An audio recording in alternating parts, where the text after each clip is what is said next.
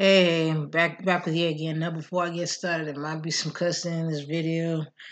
Um, I'd like to. I know I'm a day late on this, but I'd like to send my condolences, my heart and sympathies to um, Nipsey Hussle's family, family, friends, and loved ones. And I know who Tariq, Tariq, Tariq, uh, Tariq Nasheed taking it hard, man, and other Willie D and other brothers and sisters who who who who clo- who were close with Nipsey. Um, um, and I all I could say is though this is like he wasn't just a rapper. This is someone who started with you know nothing, but he but he built himself up. And the thing is though, folks could have. I mean, I mean, brothers and sisters, folks within our community can learn from some, especially those who who think like they have nothing. You can build yourself up from something. You know, I mean, and plus the timing of his death is really kind of got me really side eyeing, considering he's doing a document. He was because doing a documentary about Doctor the about Doctor Se- the late Doctor Sebi, and whether like I, we don't know who it is. If it's some, if it's some, if it's like some, it wouldn't surprise me. Someone from outside the community, especially how treacherous and rotten these motherfucking white supremacists are, it wouldn't surprise me. There's something to do with this, or you know that con- that conspired and conjured his murder, or someone fr- someone from within, or a combination of both.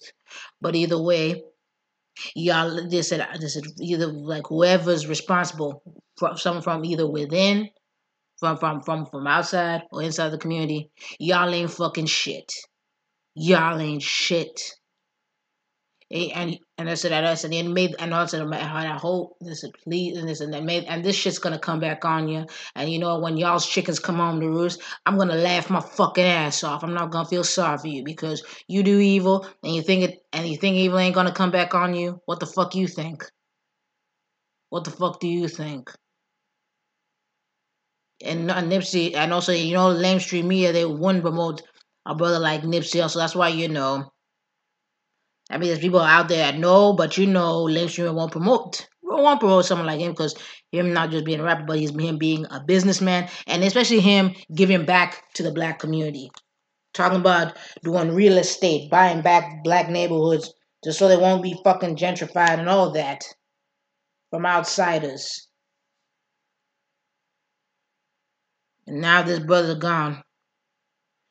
And for those who actually do give a damn about the about the community, that those who actually want to help help build and and what we gotta do. We gotta protect people like Nipsey at all fucking costs.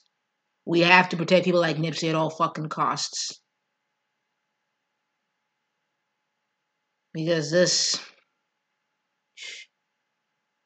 this is a damn shame, and I feel I feel really bad for his wife and his kids, and and then to I don't know then to the motherfuckers, if it's someone from within, I'm like, who who I wish nothing but the fuck fucking worse for your motherfucking ass, you traitorous bastard.